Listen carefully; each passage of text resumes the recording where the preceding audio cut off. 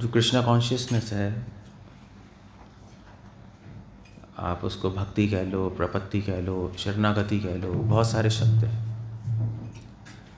But रूपा गोस्वामी ने एक श्लोक लिखा है जो कि शिला प्रभुपाद ने कोट भी किया चैतन्य चरितमृता में। शिला प्रभुपाद कह रहे हैं कि आ, कैसे? कृष्ण भावना भाविता मति कुतोपि यदि अलभ्यते अगर कृष्ण भावना भावित मति हमें कहीं से मिल जाए तो खरीद लो। आप कहोगे, कहाँ मिलेगी? वो कह रहे, कहीं से भी मिल जाए। सो खरीद लो, और अगर उसका मूल्य है आपका, अगर उसका मूल्य आपका गला तो वो भी काट के देने को तैयार रहना चाहिए। आइडिया ये है तत्र लौल्यम लोभ। जब लोभ होता है तो चीज़ें मिल जाती हैं। अब मांगोगे तो चीज़ मिल जाएगी। एक बार मांगने पे शायद ना मिले, कोई देता भी नहीं। बट अब बार बार मांगोगे तो वो चीज़ें मिल जाती हैं। इसलिए क्राइस्ट ने भी बोला है बाइबल में knock the door and it shall be open कि कि, कि दरवाजे को नॉक करो और वो खुल जाएगा। तो जनरली हम लोग कृष्णा कॉन्शियस में प्रोसेस फॉलो कर रहे हैं और अच्छा भी है बट शायद हम डोर को नॉक नहीं कर रहे। ये प्रॉब्लम है। शायद हमारे में इतनी इच्छा नहीं है भगवान को प्राप्त करने की। शिला प्रभुपाद एक बार एयरपोर्ट में थे तो एयरपोर्ट में ऐसे ही बैठे हुए आई थिंक कहाँ थे? वेस्ट में थे कहीं थे। वेस्ट में ही होंगे फॉरन डिसाइपल्स थे। प्रभुपाद बैठे थे तो तो सब लोग आशीर्वाद लेने आ रहे थे, प्रभुपाद जा रहे थे कहीं। तो एक माता जी आई अपने बच्चे को लेकर, आशीर्वाद लिया। उस बच्चे के बाद डॉल थी। तो तो शिला प्रभुपाद ने उस डॉल को, प्रभुपाद ने उस डॉल को ले लिया। और बच्चा मतलब घबरा गया क्या हुआ? प्रभुपाद ने छुपा लिया पीछे। फिर बच्चा ढूंढ रहा है डॉल को। और फिर रोने लगा बच्चा सब देख रहे हैं क्या हो रहा है शिला प्रभुपाद क्या कर रहे हैं। और फिर प्रभुपाद ने बाद में डॉल उसको दे दी तो चुप हो गया। सो so, प्रभुपाद ने कहा you see this is Krishna consciousness Prabhupada ने कई बार कई आंसर दिए कृष्णा कॉन्शियसनेस की ऐसी बात नहीं है। प्रभुपाद एक बार जा रहे थे तो आई थिंक एल में था कहीं तो शिला प्रभुपाद कार में बैठे तो एक डिसेबल भागता हुआ आया। बिल्कुल नया। उसने पूछा कि Prabhupada Krishna what is Krishna consciousness तो प्रभुपाद ने विंडो खोली प्रभुपाद ने कहा डिज़ायर प्रभुपाद ने हरे कृष्णा नहीं बोला। प्रभुपाद ने प्रसादम नहीं बोला। प्रभुपाद प्रभुपाद ने बोला डिज़ायर सो so, इच्छा इच्छा ही जीवन और मृत को अलग करती है। इस सोफे और मेरे में फ़र्क है इच्छा। ये अच्छा नहीं कर सकता, मैं अच्छा कर सकता हूँ। बस ये अंतर है और कुछ नहीं है। That's a whole point in fact Vedanta Sutra में भी आता है तद ऐक्षता क्लासिकल ट्रांसलेशन इसकी ये है कि भगवान ने ऐक्षता मतलब देखा। सृष्टि को सृष्टि शुरू हो गई। मगर एक्चुअली ऐक्षता का मतलब सारे वैष्णवाचार्य लिख रहे हैं, देखा नहीं, इच्छा की। क्योंकि देखना से पहले इच्छा भी तो करनी पड़ती है। सिर्फ़ मैं आपको देख लूँगा, थोड़ा ना कुछ होगा। मेरी डिज़ायर भी तो होनी चाहिए कि ओके फाइन यू नो देखने की इच्छा होगी तभी तो देखूँगा मैं। ऐसे तो हम कितनी सारी चीज़ें देखते हैं, हमारे माइंड में रजिस्टर ही नहीं होती। हम रोड पे चल के कितनी सारी चीज़ें देखते हैं, हमें याद थोड़ा ना रहती है। मगर जिस चीज़ को हम इच्छा के साथ देखते हैं तो वो याद रहती है। सो अल्टीमेटली तद ऐक्षता का मतलब भगवान ने इच्छा की। सृष्टि भी इच्छा से शुरू होती है। सृष्टि का अंत भी इच्छा से होता है। हमारा जीवन भी इच्छा से ही चल रहा है। जो हम चाहते हैं वो करते हैं वो देखते हैं वो सुनते हैं वो रजिस्टर करते हैं अपने माइंड में। सिर्फ़ इन्फॉर्मेशन आपकी आँखों से जाएगी वो आपके हाथ आपकी मेमोरी में नहीं जाएगी। आप डिज़ायर होगी तो जाएगी अदरवाइज़ नहीं जाएगी अदरवाइज़ कुछ भी नहीं होगा।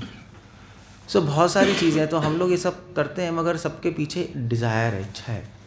इसीलिए शिला प्रभुपाद ने आंसर दिया डिज़ायर रूपा गोस्वामी तो भी लिख रहे हैं, तत् लौल्यम। वो ग्रीड वो इच्छा, लौल्यम मतलब स्ट्रांग इच्छा और कुछ नहीं है। जब बहुत स्ट्रांग इच्छा हो जाएगी कि भगवान को प्राप्त करना है तो मिल जाएँगे। शिला प्रभुपा स्टोरी बताते थे उस डाकू की।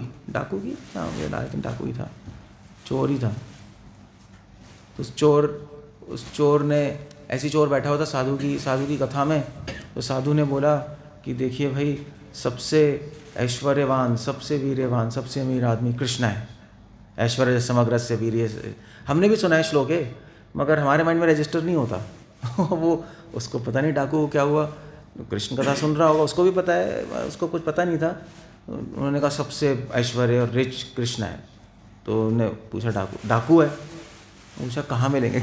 कृष्णा तो उसके माइंड में था लूटूँगा मैं। सबसे अमीर है तो लूट लेंगे। सो so, वो उन्होंने कहा वृंदावन में। तो वृंदावन में गया, वृंदावन ने सबसे पूछ रहा था, कृष्णा, ये कृष्णा का है भाई? ये मैंने सुना है, बहुत अमीर आदमी है। तो आधे लोग तो पागल समझ रहे होंगे उसको ऑब्वियसली इसको पता ही नहीं, भगवान है, ऐसे थोड़ा ना कोई मिलते हैं। बट कई लोगों ने ऐसे बोल दिया, उसको, वहाँ उस जंगल में है, वहाँ है वहाँ है। तो पागल पागल समझ रहे थे तो ऐसे ही बोलते होंगे। वहाँ है, चला जा, वहाँ है, चला जा। मज़ाक कर रहे होंगे उसके उसने सीरियसली लिया उसको। वो ढूंढता रहा ढूंढता रहा ढूंढता रहा ढूंढता रहा और एक दिन उसको कृष्ण के दर्शन हो गए। शिल प्रभुपा स्टोरी बताते हैं। शिल प्रभुपा ने स्टोरी बताई है। सो आई मीन सही है, गलत है we don't know but take away ये है कि उसकी बहुत डिज़ायर हो गई भगवान को देखने की तो भगवान मिल गए। So that's the whole point this is like ये मतलब वो चलो स्टोरी छोड़ो रियल है, नहीं रियल है। रियल स्टोरी भी हमारे पास। मुकुंद मुकुंद था उसका बेटा था? नहीं रघुनंदन रघु उसका बेटा था ना? मुकुंद का ही बेटा था ना रघुनंदन? श्रीखंड नरेश सरकार ठाकुर की फैमिली तो मुकुंद रोज़ भोग लगाता था। भोग ले लेते थे जैसे हम लोग करते हैं। तो एक बार मुकुंद चला गया उसने अपने बेटे से कहा रघुनंदन से कि तुम भोग लगा देना। तो वो प्लेट लेके गया क्योंकि फीमेल्स नहीं लगा सकते I mean to say females हमारे कल्चर में ऐसा ऑल्टर में जाना नहीं है। सो so, वो गई गया छोटा बच्चा उसने लगाया तो भगवान ले नहीं रहे। मतलब ये रियल स्टोरी है that's not a false story और उसका एविडेंस भी है बताऊँगा मैं। सो so, उसने भोग लगाया तो उन्हें लिया नहीं। तो रघुनंदन ने कहा कि यार भगवान तो ले नहीं रहे। मेरे पापा तो भोग लगाते हैं भगवान तो लेते हैं। तो उस बोलने लगा भगवान ले लीजिए ले लीजिए ले लीजिए भगवान नहीं ले रहे। तो रोने लगा वो। फिर उसको गुस्सा उसने कहा कि भगवान आप नहीं लोगे तो मैं पिटूँगा मम्मी से। तो उसने डंडा उठा लिया आप ले रहे हो नहीं ले रहे हो? तो भगवान ने फिर फिर ले लिया। खाने लगे। उन्होंने कहा हाँ ठीक है ठीक है। पूरा खा गए। तो खुशी खुशी प्लेट ला के आया। भगवान ने भो लगा लिया। उन्होंने कहा, ये कैसे करता हो मम्मी ने? तो उसने कहा, तूने खाया है।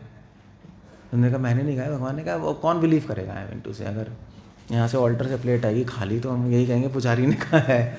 उसको पीटेंगे और क्या करेंगे? मतलब क्वेश्चन ही नहीं हम बिलीव कर लें। So Raghunandan he was a great devotee Mahaprabhu के पार्षद है। सो बिलीव नहीं होता उन्होंने अपने हस्बैंड को कंप्लेन किया। मुकुंद ने कि ऑल्टर में आके खुद ही खा लेता है और प्लेट खाली आती है, अब क्या करें? तो मुकुंद ने कहा, ठीक है, मैं देखूँगा। तो छुप के देखा। तो रेल उस दिन भी उन्होंने भगवान खा नहीं रहे थे तो उन्होंने कहा कि आप खाना पड़ेगा खाना पड़ेगा? तो भगवान ने लड्डू लिया और लड्डू जैसे ही मुँह में रखा तो भगवान ने मुकुंद को देखा कि मुकुंद देख रहा है। एकदम से आधा लड्डू रह गया मुँह पे। यानी बेगम डी टी वहीं रुक गए। तो मुकुंद आया मुकुंद ने उसको आलिंगन किया कि तुम्हारी वजह से भगवान के दर्शन हुए आज मुझे। सो so, महाप्रभु ने में कहा था कि मुकुंद जब मुकुंद रघुनंदन मिलने गए थे जगन्नाथपुरी में तो चैतन्यपुर ने भी कहा कि तुम में से पिता कौन है? तो मुकुंद ने कहा ये पिता है क्योंकि ये मुझे भगवान के पास लेके आया है। So that's a real story Raghunanda Mukund को क्यों नहीं दर्शन दिए? रघुनंदन को क्यों दर्शन दिए? ऑल दो बोथ वर डिवोटीज़ क्योंकि रघुनंदन में इच्छा थी भगवान को देखने की। इच्छा नहीं, लौल्यम था, प्रगाढ़ इच्छा थी कि भगवान, आप लीजिए। दैट्स अ रियल स्टोरी अब चैतन्य चरितमृत में एक और स्टोरी है, वो ब्राह्मण की, जिसकी शादी तय हो गई थी। यू नो लाइक शादी तय नहीं, उसको जो बूढ़ा आदमी है, उसको लेके जाना था, उसको साक्षी गोपाल की कथा है जो है।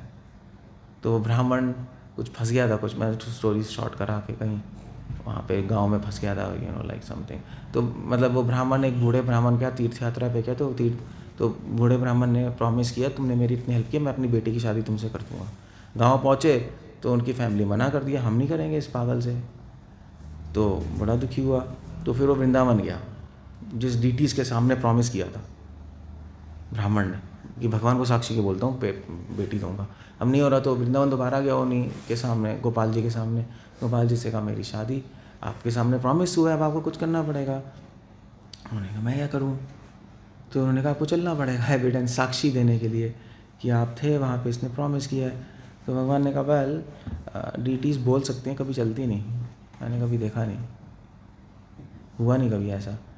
तो उस ब्राह्मण ने कहा, वो ठीक है अगर बोल सकते हैं तो चल भी सकती है। आज आपको करना ही पड़ेगा। सो ही कैम चल के आए भगवान। साक्षी गोपाल की कथा यही है।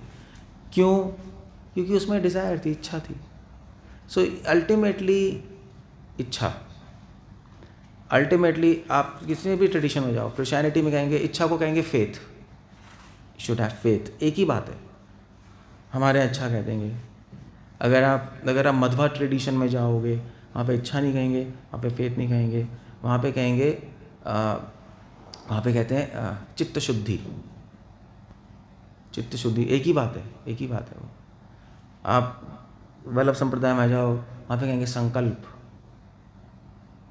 सारे वर्ड्स एक ही हैं। आइडिया ये है कि अंदर से समथिंग, आप मिस्टिक ट्रेडिशन में जाओ, उसमें कहेंगे फायर होनी चाहिए। You have to be a fire inside so बस फिर चीज़ मिल जाती है। इस संसार में भी ऐसे ही है। आप किसी चीज़ के पीछे पड़ जाओ तो मिल जाती है। मतलब यहाँ लोग तो यहाँ तक कहते हैं लॉ ऑफ़ अट्रैक्शन कहते हैं। अब वो सही है नहीं सही आई डोंट नो बट आप इच्छा करते रहो इच्छा करते रहो। इच्छा तो अपने आप चीज़ आपके पास आ जाएगी आपको जाने की भी ज़रूरत नहीं है। लोग ऐसा भी कहते हैं। Law of attraction anyway so ये कृष्णा कॉन्शियसनेस है। सो so, हम चैंटिंग कर रहे हैं जो भी कर रहे हैं प्रोसेस कर रहे हैं।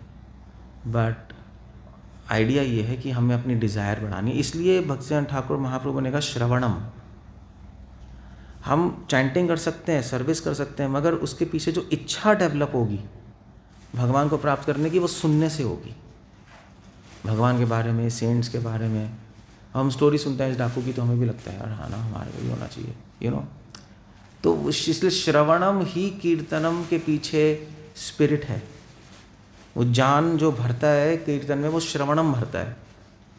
इसलिए श्रवणम, कीर्तनम। इसलिए परम विजय श्री कृष्ण संग कीर्तनम कीर्तनम किसके साथ? श्रवणम के साथ। अगर हमारी हेयरिंग अच्छी होगी, अच्छे सोर्स से होगी, एक प्योर सोर्स से होगी तो हमें भी डिज़ायर वो आ जाएगी और हमारा भी कीर्तन अच्छा हो जाएगा।